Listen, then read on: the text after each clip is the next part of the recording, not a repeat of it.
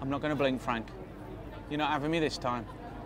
No, no, I'm in my zone. I've gone to my happy place. I am not going to blink. Oh, Frank! Never play the blinking game with a statue that's a flamingo. You'll always lose. I'm the food busker. I cook food on the street. People try the food and then they tell me what they would pay for it. Would you like to try it? What would you pay for that bowl of food? Brothers and sisters, a street cheat for you now. Quick and fast Chinese chicken fried rice.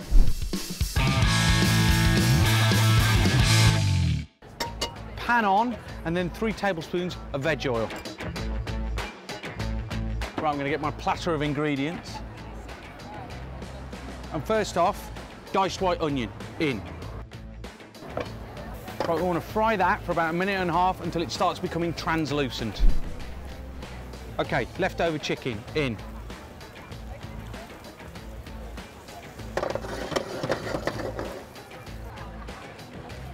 Okay, so about two heaped tablespoons of spring onion. And the same in bean sprouts. Get those tossed in. Right, half a teaspoon of garlic powder. Right, so I've got an egg yolk in there. Let's just break that down. Let's whisk it up.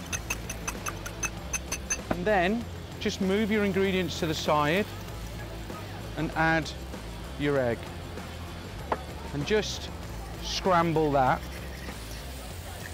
So now we're just going to make a little cheeky sauce to go with it. So, one tablespoon of hot water. About a teaspoon of sake. A teaspoon of toasted sesame oil. A squeeze of runny honey. A teaspoon of light and a teaspoon of dark soy. Incorporate those ingredients. And now we're going to add our sauce. Three teaspoons of the sauce. And now it's time for the rice. So, two good handfuls. So that needs to fry for a minute or so. Now, I've got some dried shrimp that I've brought back to life by soaking it in some water. Let's get a good handful, strain out the water, and then we're just going to roughly dice those. And drop them in. So this is some morning glory, and I'm just going to take the ends off and then just cut it on the slant. This is great for stir fries and lots of different sort of uh, quick dishes that you need to do. Just get that little lot and drop them in.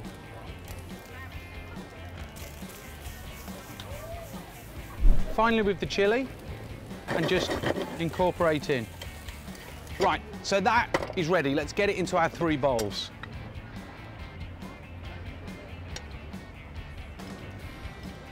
We're just going to put a little tasty garnish on there. So, a little bit of chili oil just on the top. And then some Szechuan pepper.